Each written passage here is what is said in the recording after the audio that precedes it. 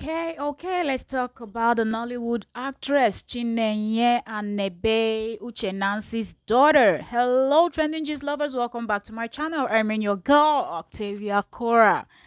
Are you subscribed yet to the channel?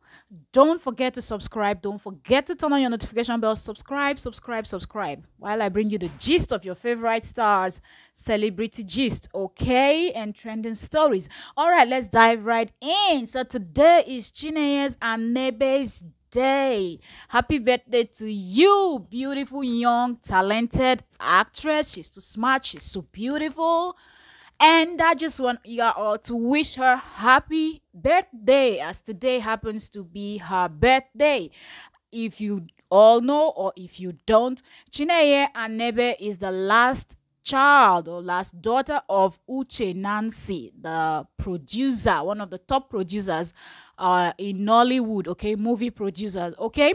So, yes, she has about, I think, four daughters and yes, Chinenye happens to be the last child, and Uche Nancy is really proud of her. She always talks about her. She always posts about her achievements on her social media.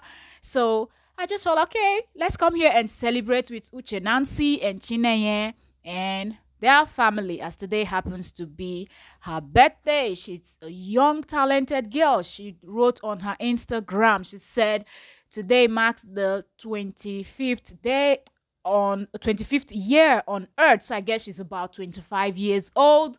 She's a graduate. She's been acting from when she was still very young. So she's been in the industry for a while now.